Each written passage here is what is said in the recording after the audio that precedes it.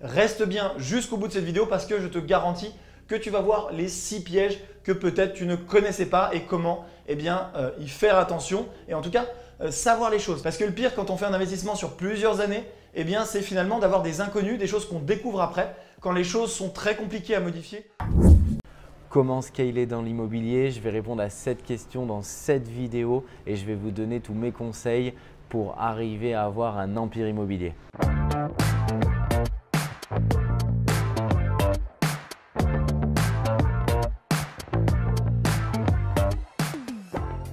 Bonjour à tous, je m'appelle Mickaël Zonta et je dirige la société investissementlocatif.com. Mon équipe et moi-même, nous accompagnons des centaines d'investisseurs sur le marché à Paris, en région parisienne et à Lyon. Et aujourd'hui, je voudrais vous en dire plus sur le terme à la mode qu'on entend partout dans l'immobilier, le mot scaler. Comment scaler? Alors, je vais bien sûr vous dire en quoi ça consiste, comment vous pouvez le faire et quels sont euh, les avantages. Pour ceux qui ne l'ont pas encore fait, je vous invite à vous abonner à ma chaîne YouTube pour recevoir l'intégralité euh, de mes conseils et en savoir plus sur l'immobilier à fort rendement. Alors comment scaler dans l'immobilier? Tout d'abord, qu'est-ce que ça veut dire pour celles et ceux qui m'écoutent et qui se disent mais qu'est-ce que c'est que ce terme? Je ne connais pas. Euh, le mot scale, scaler, c'est un mot qu'on entend beaucoup puisque c'est tiré de l'américain du monde des startups. Euh, globalement, c'est comment exploser, comment faire plus avec la même équipe, puisque c'est vraiment le business model de toutes les startups, c'est le fait de valider un business model pour un client et avec la même équipe de pouvoir le faire pour 1000, 10 000 clients de façon à avoir une économie d'échelle et de façon à exploser. Ce terme, il a été transposé dans l'immobilier puisqu'on l'entend de plus en plus et on dit comment je peux scaler, c'est-à-dire quand j'ai validé une bonne première opération en immobilier, qui fonctionne, puisque globalement, vous le savez, le but du jeu, c'est vous investissez sur une opération rentable et le locataire va vous payer l'appartement.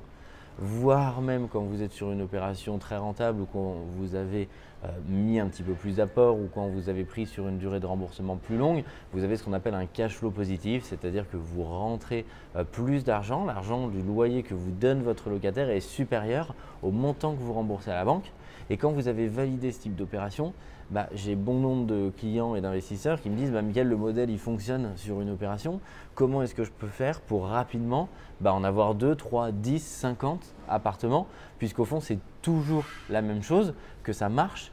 Et c'est là où arrive le terme, c'est-à-dire on dit bah, comment est-ce que je peux scaler à grande échelle tout ça? Ce qui est important, c'est quand on a vérifié euh, ce que j'appelle le business model hein, de l'opération immobilière, c'est-à-dire bah, vous avez acheté votre appartement, euh, tout s'est bien passé, le locataire paye, il est en place, cela vous permet de payer, de rembourser euh, la banque, comment est-ce qu'on fait pour passer à l'étape d'après, une fois que c'est validé sur un, deux ou trois appartements, pour aller plus vite et accélérer, puisque c'est euh, bien de ça qu'il s'agit. Comment est-ce que je peux le faire sur un, deux, trois opérations et demain passer de 3 à 10 opérations et plus de manière à scaler tout ça? Alors il y a différentes manières. Euh, il y a des investisseurs qui vont vouloir rentrer sur des opérations d'envergure qui sont plus importantes, qui sont plus grosses. Euh, par exemple sur des immeubles de rapport, hein, là où on accompagne nos clients en région parisienne, puisque plutôt que faire 10 euh, studios, ça va leur permettre de faire un immeuble de rapport qui en valeur leur permet de tirer le bénéfice de 10 studios. Et le temps n'est pas équivalent à l'addition de 10 studios, puisqu'il faudrait passer 10 fois à la trouver 10 studios, passer 10 fois en financement à la banque, faire 10 euh, chantiers différents. Euh, donc ça permet d'aller déjà plus vite puisque d'un coup, en une seule opération, ils vont se retrouver avec les revenus locatifs de la, somme de plusieurs appartements. Donc c'est une des solutions de scaler pour aller plus vite. Pour celles et ceux euh, qui ont vu d'autres vidéos sur ma chaîne, puisque j'interviewais une cliente à Copenhague, et c'était sa problématique, c'était le fait de dire bah, comment est-ce que je peux accélérer euh, dans l'immobilier pour avoir vraiment beaucoup plus euh, d'appartements. Euh, et c'était vraiment cette partie-là de comment je peux scaler. Et elle disait à juste titre, si elle accumule et elle met bout à bout le nombre d'heures que ça lui a pris pour faire une opération, puisqu'on s'occupe de l'entièreté de la chaîne pour nos clients, elle m'a dit bah, bout à bout, ça doit représenter au maximum une demi-journée. Et déléguer, ce qu'il faut comprendre, c'est que ça fait partie aussi de comment on peut scaler dans l'immobilier. Euh, si on voulait à l'extrême tout faire, euh, trouver l'appartement. Euh, certains font même les travaux eux-mêmes. J'ai rien contre, mais bien sûr qu'il y aura une économie si on fait les travaux nous-mêmes plutôt que si on les délègue. Mais combien de temps va vous prendre de faire un chantier? Combien de temps ça va vous prendre de gérer un chantier? Combien de temps ça va vous prendre de gérer un appartement, de faire la mise en location? Et mis bout à bout, ça vous bloque au final parce que pour réaliser ou vouloir réaliser une économie, si tant est que c'est aussi bien fait qu'un professionnel, euh, ça va vous bloquer parce que ça ne vous permet pas de faire d'autres opérations. Et scaler, c'est vraiment ça. C'est pouvoir le faire à plus grande échelle et pouvoir le faire plus rapidement, voire plusieurs opérations en même temps.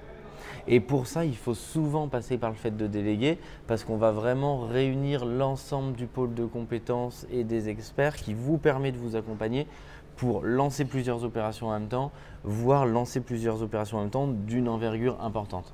Et pour toutes celles et ceux qui ont cette volonté, hein, encore une fois, il n'y a pas de bonne ou de mauvaise réponse, ce n'est pas obligatoire. Mais là, je parle à celles et ceux qui ont la volonté de se constituer un patrimoine immobilier euh, important, euh, qui veulent accélérer. C'est euh, à peu près l'unique moyen pour scaler, c'est lancer plusieurs opérations en même temps ou aller sur des opérations euh, d'envergure plus importante pour arriver à avoir un patrimoine immobilier plus important. Et pour finir, quand je discute avec des investisseurs, quand je discute avec des clients, des amis, moi j'aime bien prendre le problème à l'envers. Je leur dis euh, combien est-ce que tu souhaiterais d'argent arriver à la retraite ou en revenu passif euh, pour être dans une situation plus confortable? Et quand on prend le problème à l'envers et, quand on débute cette question par la fin, bah, ça nous permet d'y voir plus clair. Euh, certains me disent 2000 euros, 3000 euros, certains 10 000 euros, ça dépend de, ce qu'ils souhaitent euh, en bout de course. Euh, l'idée, c'est de dire bah, on va caler combien d'appartements il te faut, combien de revenus locatifs il te faut pour arriver tout simplement à ton objectif. Donc si on prend un exemple très concret, aujourd'hui euh, ma société euh, et mon équipe, on opère à Paris, en région parisienne, à Lyon. Si je prends un exemple parisien sur un studio, en, valeur locative, un studio va rapporter 800 euros par mois. Donc quelqu'un qui voudrait 2000 euh, euros de revenus, bah, il sait déjà qu'il faudrait lancer au minimum trois opérations, trois studios pour avoir un revenu beaucoup plus confortable et des revenus passifs à, la hauteur de ce qu'ils souhaitent euh, à la retraite. Donc ça permet en prenant le problème à l'envers d'arriver à savoir quel est notre objectif et tout mettre en œuvre pour atteindre cet objectif. Je suis persuadé que pour toutes celles et ceux qui ne connaissaient pas euh, le terme scaler ou pour tous ceux qui l'avaient entendu, euh, qui se disaient mais qu'est-ce que ça veut dire scaler euh, dans l'immobilier, ça aura répondu à votre question. Je vous invite pour toutes celles et ceux qui veulent en savoir plus aussi à mettre en commentaire de cette vidéo vos questions. Comme promis, je pourrai les traiter dans une prochaine vidéo pour y répondre si ça nécessite une explication un petit peu plus précise. je vous invite à vous abonner à la chaîne de manière à ce qu'on puisse garder un lien et que je puisse vous apporter de la valeur et répondre à vos questions dans des prochaines vidéos. Je vous dis à très bientôt, peut-être dans une autre ville puisqu'on se trouve aujourd'hui à Monaco, là où j'enregistre cette vidéo. À bientôt.